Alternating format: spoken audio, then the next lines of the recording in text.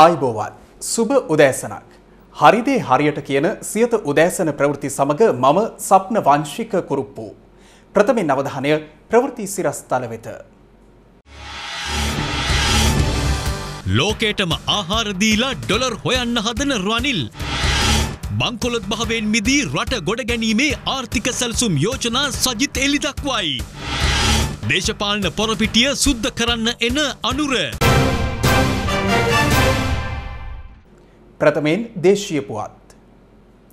ලෝක ආහාර සුරක්ෂිත භාවය වෙනුවෙන් ආහාර සැපීමට හැකිවන පරිදි රටේ කෘෂිකර්මාන්තය නවීකරණය කරන බව ජනාධිපති රනිල් වික්‍රමසිංහ පවසනවා. ආහාර අපනයනය කර ඩොලර් උපයා ණය නැති රටක් නිර්මාණය කරන බවයි ජනාධීපතිවරයා වැඩිදුරටත් ප්‍රකාශ කළේ. යාපහුව ප්‍රදේශයේ පැවති ජන රැලියකට එක්වෙමින් ඔහු මේ බව ප්‍රකාශ කළා. මේ අතර ජනාධීපතිවරයාට සහාය පළ කිරීමට සමස්ත ලංකා මහජන කොංග්‍රසය සහ කම්කරු ජාතික සංගමයේ පිරිසක් එක්ව තිබෙනවා. ඉවහල් රටක් නිදහස් බිමක් අපට පුළුවන් මේ රට හදන්න.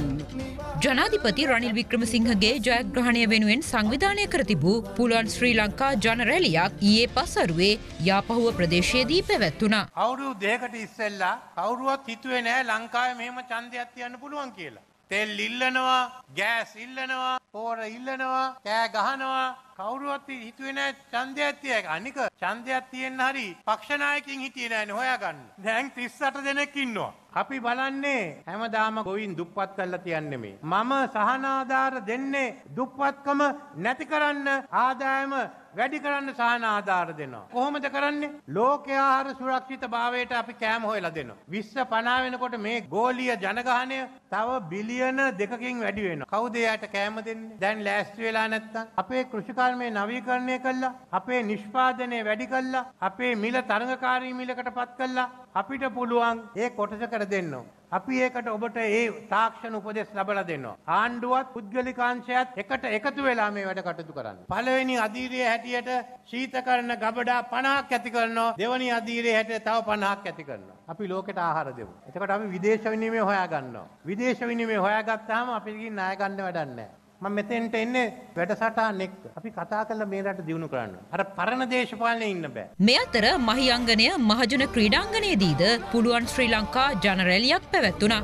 ඒ ජනාධිපති රනිල් වික්‍රමසිංහගේ ප්‍රධානත්වයෙන්. මම හැම වෙලේම හිතුවා අපි මේ ඡන්දෙ තියන්න ඕන කියලා. මේ යන ක්‍රමවේදය දැන් ස්ථීර කරන්න ඕන. රටේ අලුත් ආර්ථිකයක් ඇති කරන්න ඕන. මේක ඉදිරියට ගෙනියවද නැද්ද කියලා තීරණය කරන්න. ඒ වගේම ඔබ විඳ දුක මම දන්නවා. ඒත් ඒ වගේම මම දන්නවා තවත් බර තියෙනවා. තවත් අපි ජීවන වියදම ඔබට තැහැල්ලු කරන්න උවමනයි කියලා මං කියන්න කැමතියි. අපි ඔක්කොම එකතු වෙලා මේ සැරේ එන්නේ පක්ෂ හැටියට බෙදලා නෙමෙයි. මේ රටේ අපි ආරම්භ කරපු ගමන අවසන් කළා මේ රටේ ජනතාවට එදාට වඩා හොඳ අනාගතයක් ලබා දෙන්න උවමනයි කියලා අපි මෙතෙන්ට ඇවිල්ලා ඉන්නේ. අපි පිළිගන්නවා අපි තාම වැඩ කටයුතු ඔක්කොම අවසන් කළා නෑ. බදු බර සහැල්ලු කරන්න උවමනයි. ඒත් අපි දන්නවා මේක එක සැරේ කරන්න බෑ. එක පිම්මෙන් කරන්න බෑ. කැඩුනේ ආර්ථිකය හිමින් හිමින් අපි එකට දාන්න ඕනේ. අපි ඉන්නේ අලුත් දේශපාලනේ. අපි ඉන්නේ ඉදිරියට යන්න. ඒකයි කියන්නේ අලුතෙන් හිතලා අපි එක්ක මේ ගමට යන්න කියලා මම කියන්න කැමති. බංකොලොත් භාවයෙන් මිදී රට ගොඩනගන සමගි ජනබලවේගේ ආර්ථික සැලසුම් පසුගියදා එළි දැක්වුණා. ඒ ජනාධිපති ධුර අපේක්ෂක සජිත් ප්‍රේමදාසගේ ප්‍රධානත්වයෙනුයි. මෙම අවස්ථාවට සමගි ජනබලවේගේ ආර්ථික කණ්ඩායමේ ප්‍රධානීන්ද එක්ව සිටියා. සමගි ජනබලවේගේ ආර්ථික කණ්ඩායම සකස් කරන ලද බංකොලොත් භාවෙන් රට ගොඩනැගීමේ ආර්ථික සැලසුම් යෝජනා සහිත බ්ලූප්‍රින්ට් 3.0 ඊයේ සමගි ජනබලවේගේ ජනාධිපති දුරාපේක්ෂක විපක්ෂනායක සජිත් ප්‍රේමදාසගේ ප්‍රධානත්වයෙන් කොළඹදී එළි දක්වනු ලැබුවා. Thank you all for being here today. සමගි ජනබලවේගේ තමයි සැලසුමක් තිබෙන එකම කණ්ඩායම.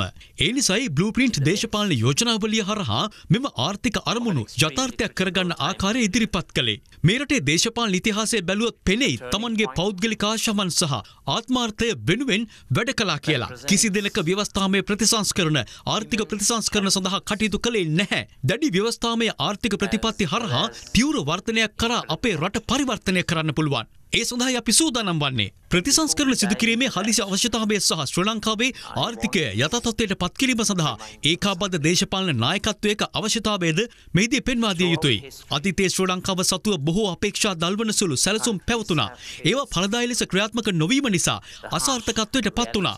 ඒවගේම ශ්‍ර ලංකාව නැවත ගොඩගැනීමේදී මේ රටේ ගැඹුරින් මුල් බැසගත් අභියෝග සඳහා විසඳුම් ලබාදීමට විස්තීරණ ආණ්ඩුක්‍රම ව්‍යවස්ථා ප්‍රතිසංස්කරණයක් සමගින් පාර්ලිමේන්තුවේ පැහැදිලි සහ ඒකාබද්ධ ජනවරමක් අවශ්‍යයි. ඒ සඳහාම චන්දදායකින්ගෙන් ඉල්ලා සිටින්නේ අදාළ සැලසුම සහ ඒවා පිටුපස සිටින කණ්ඩායම යන දෙංශයම සැලකිල්ලට ගන්නා ලෙසයි. සමගී ජන සන්ධානයේ ගාල්ලේ පැවති ජනරැලිය ඊයේ පැවැත්වනේ එම සන්ධානයේ ජනාධිපති දුර අපේක්ෂක විපක්ෂනායක සජිත් ප්‍රේමදාසගේ ප්‍රධානත්වයෙන්. මගෙරට බලගන්වන්නට සැරසෙන් දියුණු ඔයාලි කැන්දන්නට සැරසෙන් සමගිය බලගන්වා නිතිසර අද ජනතා විමුක්ති පෙරමුණයි ජනාධිපතිවරය එකට එකතු වෙලා අපේ ජයග්‍රහණය තහවුරු වී තිබෙන මොහොතක බොරුවට කටකතා හදලා මුහුණු පොතේ විවිධ වෙබ්සයිට් වලට ප්‍රවෘත්ති දමනවා. අපි එක්කහු වෙනවලු මම ඔබට කියන්න කැමති 21 වෙනිදාට සමගි ජන බලවේගයේ ජයග්‍රහණය කරලා අපි එකතු වෙන්නේ මේ රටේ ලක්ෂ 220ක් පොදු ජනතාව එක්කයි අපි මේ ජරා ජීර්ණ වුණු පරාජිත අන්ත දූෂිත දේශපාලන හවුල් වලට යන්නේ නැහැ ඒ දෙන්නට ඕන නම් එකතු වෙන්න පුළුවන්. සමගි ජන බලවේගයක් සමගි ජන සන්ධානයක් මොනම හේතුවකටවත් ඔය රට විනාශ කරන කල්ලි එක්ක එකතු වෙන්නේ නැහැයි කියන එක මම මේ අවස්ථාවේ කියන්න කැමතියි. තම රජයක් යටතේ දේශපාලන පොරපිටිය සුද්ධ කරන බව ජනාධීපති දුර අපේක්ෂක අනුර කුමාර දිසානායක පවසනවා. වත්මන් ජනාධීපතිවරයා ඉදිරි මැතිවරණයේදී නියත වශයෙන්ම ගෙදර යන බවයි ඔහු පවසන්නේ. ඒ වෞනියාවේ පැවති ජන රැලියකට එක්වෙමිනුයි. ඒ සහෝදරත්වයේ ජයක් දිගු කරමින් රටේ බලාපොරොත්තුව තාරුණ්‍ය බලාපොරොත්තුව සැබෑ කරන්නට මිනිසෙක් එනවා ජනාධිපති දුර අපේක්ෂක ජාතික ජනබලවේගේ නායක පාර්ලිමේන්තු මන්ත්‍රී අනුර කුමාර දිසානායකගේ ජයග්‍රහණය වෙනුවෙන් පවත්වනු ලබන ජනරැලි මාලාවේ තවත් එක් ජනරැලියක් අද පෙරවරුවේ වෞනියාවේදී පැවැත්වුණා. ඒ ජනාධිපති දුර අපේක්ෂක අනුර කුමාර දිසානායකගේ ප්‍රධානත්වයෙනුයි. මීට කලිනුත් අපේ රටේ ඡන්ද තියලා තියෙනවා. ඒ හැම ඡන්දයකින් මුණ දේ තමයි ඒ කණ්ඩායම් දෙක අතර තමයි බලය මාරුන්නේ. හැබැයි පළමු වතාවට මේ මැතිවරණයේදී එක වෙනස් වෙන්න නියමිතව තිබෙනවා. 70 අවුරුද්දක් තිස්සේ අපේ රට පාලනය කරපු පාලකයෝ රට වැට්ටුවා. ජනතාව දුප්පත් කරා. සමගිය නැති කරා. අපිට ඕන ඒවා වෙනස් කරන ආණ්ඩුවක්. එහෙනම් සැප්තැම්බර් මාසේ 21 වෙනිදාට අපි ඔක්කොම එකතු වෙලා ජාතික ජන බලවේගයේ ආණ්ඩුව හදමු. ආරම්භයේදීම අපි වැඩ ගොඩක් කරන්න බලාපොරොත්තු වෙනවා. මේ දේශපාලන පොරපිටිය සුද්ධ කරනවා. මහජනයාගේ දීපල නාස්ති කරන කියන එක දේශපාලන නෙවෙයි. මහජනයාගේ දීපල හොරකම් කරනවා කියන දේශපාලන නෙවෙයි. දේශපාලන කියන්නේ මහජන සේවයක්. ඒ දේශපාලනය ලංකාවේ ජාතික ජන බලවේගය ආරම්භ කරනවා. හොරකම නාස්තිය දූෂණය මුළුමනින්ම ඉවත් කරනවා. අපි අලුත් ආණ්ඩුක්‍රම ව්‍යවස්ථාවක් ගේනවා. මේ රටේ සමගිය රකින්න හැම කෙනාගේම අයිතිවාසිකම් රකින්න සෑම ආගමකටම ගරු කරන සෑම සංස්කෘතියකටම ගරු කරන සමගියෙන් පිරි ආණ්ඩුවක් තමයි ජාතික ජන බලවේගයේ ආණ්ඩුව. ඉතින් අතර වෙන්නේ නැහැ. මේ රට හදන්න පටන් ගන්න ඕන. හැබැයි මේක වටලා තියෙන තරමට හදන්න යම් කාලයක් යනවා. එතකම් ආණ්ඩු විසින් ජනතාව බලා ගන්නවා. తాවකාලික සහනයක් එනවා ජනතාවට. දැන් අපිට විරුද්ධව විශාල අවලාද රැල්ලක් ලෑස්ති කළා තියෙනවා. 21 වෙනිදාකින් පස්සේ ඒගොල්ලෝ ගෙදර කට්ටිය කරන රනිල් වික්‍රමසිංහ අන්තිම වෙලාවේ මොනව හරි කරයිද දන්නේ නැහැ කියලා. මුකුත් කරන්න වෙන්නේ නැහැ. රනිල් පරදිනවා. සාමකාමියෝ ගෙදර යනවා. එයාට පරාද වෙන එක ගාණක් නෑ. ඒත් සමගින් සියත උදෑසන ප්‍රවෘත්ති බින්නිමාවට පත්වනවා. හමුවෙමු මධ්‍යහන දොළහට. ඔබට සුබ දවසක්. රටේ ලෝකෙ සිදුවන උණුසුම්පුව දැනගන්න සියත නිවස් YouTube චැනල් එක අදම සබස්ක්‍රයිබ් කරන්න.